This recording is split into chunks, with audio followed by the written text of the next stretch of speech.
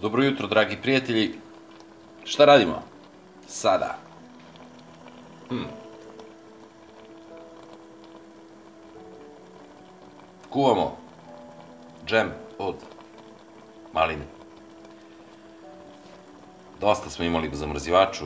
Neće se to pojesti, znači do, do, do leta sigurno. Da se ne baca, da ne propada.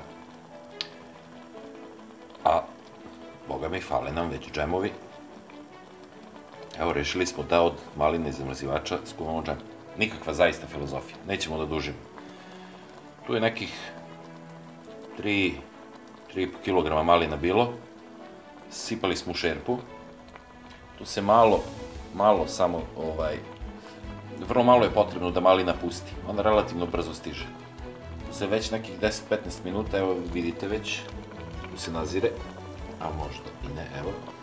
Mi smo već stavili šećer. Šećer otprilike ide u iznosu pola, pola od količine voća. E sada opet zavisno od ukusa. Može manje, može više. Dakle, mi smo stavili manje. Znači, nekih 30% smo stavili šećera.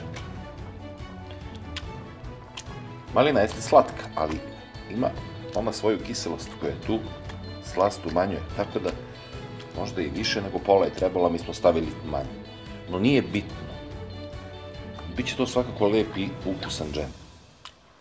Ako ništa drugo, ako ne bude sladak kao što treba, makar će biti baš ono skroz zdrav.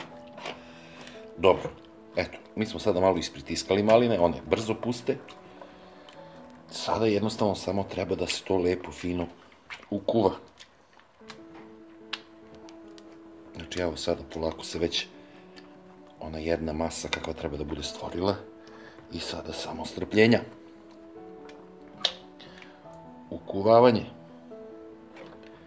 Vidjet ćemo šta, kako, dokle. Će ići s tim što za još koji minut ili u stvari koju desetinu minuta, možda sat vremena. Još par nekih interesantnih dodataka, naravno moramo mi da se uvek nešto izmislimo. Nešto interesantno da ubacimo u ove normalne, da kažem normalne recepte. Evo, prošlo je nekih sat vremena. Na 1,5 se lepo džem ukrčkao. Još uvek tu ima ovog ostatka, ali vodite, mislim ove, ove vode tečnosti. Treba tu još jedno pola sata. Naravno, morate da mešate stalno da vam ne bi zagoreo. I znači gustina evo vidite već se on dobro stvrdnuo naravno to opet ostaje i vašem ukusu. Malo da bude gušći ili malo ređu no uglavnom bitno je da se ukuva da nema previše ove vode. Ovdje u ovom slučaju već je gotovo i da je nema. E šta sada činimo mi? Znači, džem sam po sebi, manje više, ajde, možda malina, malo je interesantno, ali ovaj, recepti za pravljanje džemova nisu nešto posebno komplikovani. Ono što ćemo mi sada da uradimo, stare, da kažem, iskusne domaćice ili ne moraju da budu ni stare, mogu da budu mlade, ali koje vole kuvanje, koje znaju tako neke finese, za ovo znaju, svejedno, znate ili ne znate, ono što ćemo mi sada da uradimo jeste da ćemo sipati jednu čašicu rakije. Nije baš puna, prilike dve trećine. Čašica rakije, domaće čiste loze, lozovače. Šta ona čini? Ona čini da džem zaista dobije neki specifičan šmek. Znate sami one bombone cherry brandy ili šta ja znam, voće sa alkoholom i slično kako se imaju lep ukus. Tako će ovaj džem da dobije neki lep i specifičan ukus i takođe na neki način rakija vrši konzerviranje. To isto moglo da se učini i sa sirćetom, znate. Moglo bi, može sirće da se ubaci i ono da je neku aromu, šmek, konzervira. Ali eto, mi smo ubacili malo rakije. Još nekih pola sata će ovo lagano da vri, da krčka. Dakle, ono što smo uradili jeste da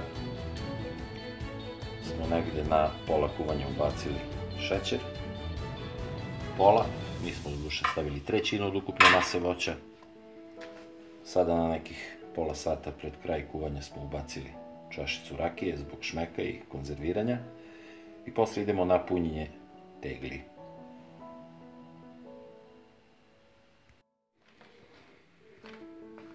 Poštovanje, dragi prijatelji, evo sada finiširamo naš džem od malina. Skuvan je lepo fino, evo vidite. Možda je malo gušće ispalo, ali u suštini je ok. E sada, nekom će se ovo dopasti, nekom ne, zbog ovih sitnih semenčica, ali nekom se baš i sviđa da to onako krcka da mota po zubima. U suštini, mi smo probali, zaista je predivan, fantastičan je. Jako i recimo baš volim puno slatko. Umjesto neke merke koja ide pol, pola ovaj, od voća, stavlja se pola šećer, ja sam stavio trećinu faktički kilogram na preko 3 kg malina i zaista je fin, super sladak. Dakle, ko voli manje slatko može i manje šećera da stavi, ali to je sve po ukusu. Već manje više vi to sve već dobro znate. Jedino što smo malo hteli eto da napravimo nešto posebno jeste to što smo stavili po nekom starom dobrom receptu naših baka čašicu rakije koja je zaista dala onako lep fin šmek. Evo stavili smo ovdje teglu, sada ćemo da pristupimo sipanju džema, tegle. Tegle ćemo povezati celofanom hermetički zatvoriti.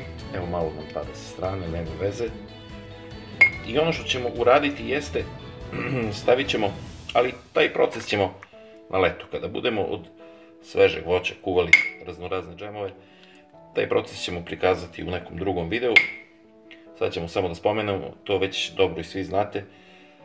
Recimo, u jednu ovakvu šerpu mogu da stanu četiri tegle otprilike. Dakle, tegle napunite, zatvorite ih, nalijete vodom faktički do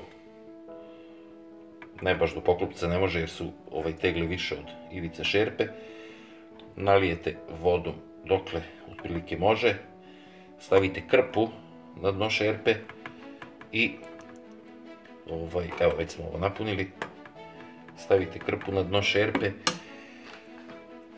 i takođe krpe između, između tegli koje se stavi, da se ne bi dodirivale i da zbog toplote ne bi pukle. Ostavi se da proključa prvi ključ kada, se ba, e, kada baci voda prvi ključ, odmah se isključi i ostavi se još koji minut i tako se vrši prirodna pasterizacija. Dakle, džem od malina je gotov. Lep, fin, divan. Šta da vam kažem? Probajte i sami, ako već i niste probali.